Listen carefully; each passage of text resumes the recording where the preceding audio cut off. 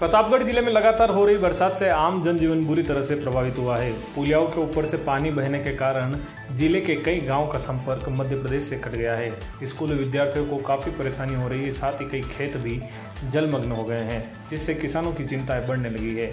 इस मानसून की ज़िले में बानवे प्रतिशत बारिश हो चुकी है। जिला मुख्यालय पर तो औसत से 35 परसेंट ज़्यादा बरसात हो चुकी है। बीते 24 घंटों में अरनोद में सर्वाधिक 10 इंच बरसात हुई है।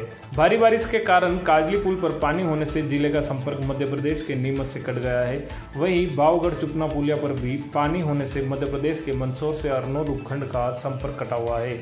कई खेत जलमग्न हो चुके हैं जाकम और बारडिया बाँध ओवरफ्लो है। ज़िले के एक दर्जन बाँध भी लबालब हो चुके हैं। नदी नालों के उफान पर होने के कारण स्कूली विद्यार्थियों को भी आवागमन में परेशानी का सामना करना पड़ रहा है। राष्ट्रीय राजमार्ग छप्पन पर भी कई स्थानों पर जल भराव की स्थिति होने से वाहनों की रफ्तार को ब्रेक लगा है। बरसाती हादसों में ज़िले में अभी तक सात लोगों की मौत हो चुकी है।